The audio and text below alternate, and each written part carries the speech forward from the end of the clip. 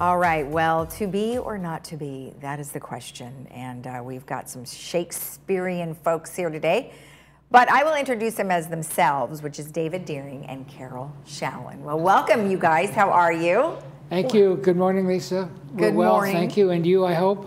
Yep, absolutely. And uh, this one over here, when she came in this morning, she was like, la la la. And she just gets all into character. Oh, and- absolutely. I am Robin Goodfellow, otherwise known as Puck, a merry sprite. yes, you are. And this is Malvolio. Mm-hmm. He's an ass, a pompous ass. He's a pompous ass. Well, Well, thank you for that.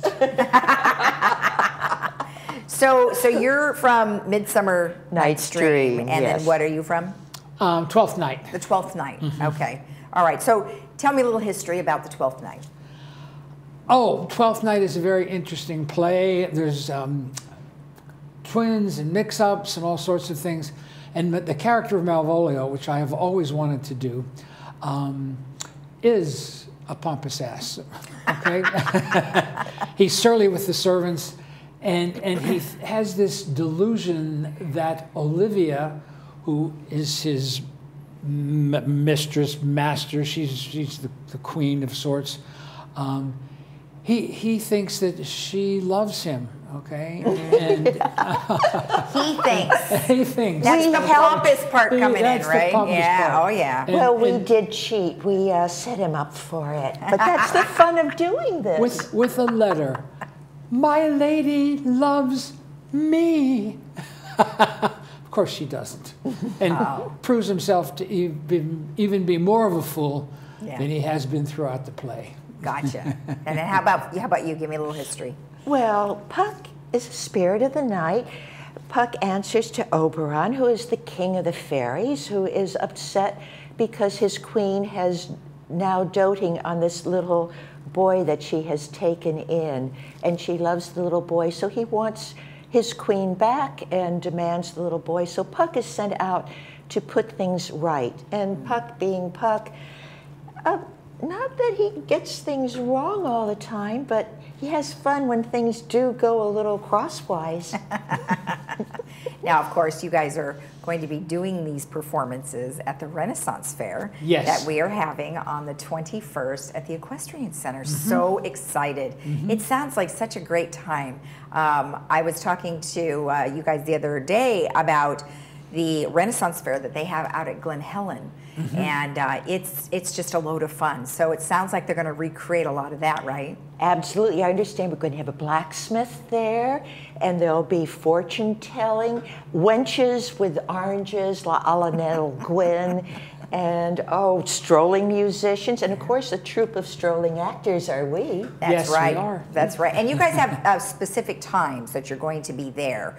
Yes. So just to let everybody know, it's not as if you're going to be there entire day. So uh, you guys are going to be performing between 12 and 2 p.m. Correct? Um, a- actually, we're performing at 12. oh, I see. Okay. And at 2 and, at 4. And at two. The show runs approximately 40 minutes. Okay. Okay.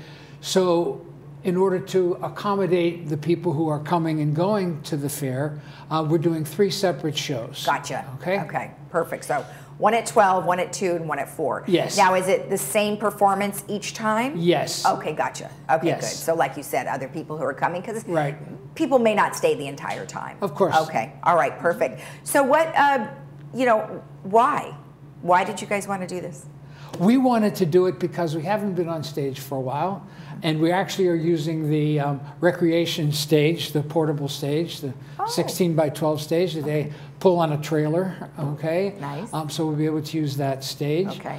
Um, and, and we have things other than um, three different scenes. We have some sonnets. Okay. Oh, okay. I'm- Insults, which In- are always insults. fun, which will be thrown out at the audience. Oh, they'll love it. Because isn't that what that's all about, that Of period, course. you know? we, of we have me lords, me ladies, and then we have the groundlings down there. The groundlings. Who will be, they may be fortunate enough to have a hay bale to sit upon. but If they're lucky. Well, I love it. I mean, it's super fun, and I'm glad, like you said, you get to perform uh, in front of some folks, which now you're going to be doing, hopefully, over the next several months. you, know, you guys have some other shows and things coming up. Yes, we're getting back into it. Okay, Good. we had a little setback there, as everyone in the village has had. Okay, Yeah. but we're out and about again. Good. Okay, here we well, are. Good. And, and here you are, just off your uh, surgery, which is awesome. You're doing great. Thank you, Lisa. Good. Coming along. Good. All right. Well, perfect. Well, thank you so much for the information. I appreciate it. And uh, just to let everybody know, the Renaissance Fair will be on May 21st. And uh, of course, your performances are 12, 2, and 4. Perfect. Thank you. Great. Thank you, Lisa. Thank you Milady. for having us. You're welcome. All right, and of course, if you want more information, you can always get in touch with Recreation, and you can send them an email at recreation at vmsinc.org. We'll be right back.